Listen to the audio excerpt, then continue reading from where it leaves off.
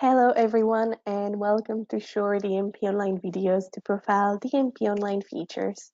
In today's video, I'll explain how to ensure that you have published your template with the most recent changes. You might need to update your existing template because of various reasons rather than making a new one. In this video, I'll explain what you have to do when making these changes in order to ensure that the latest version of your template will be published for your users. So today I'll be using the example of our newest funder template, uh, Swiss National Science Foundation. And in here you can see the template.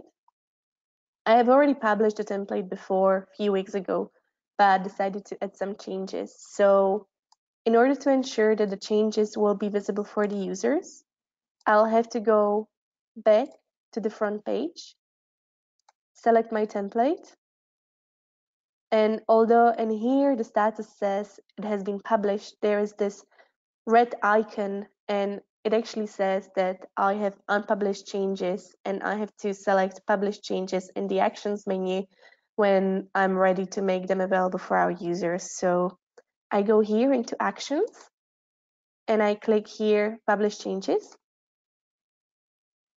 And you can see now the icon has disappeared and the template is fully available for the users. So I hope you have enjoyed this video.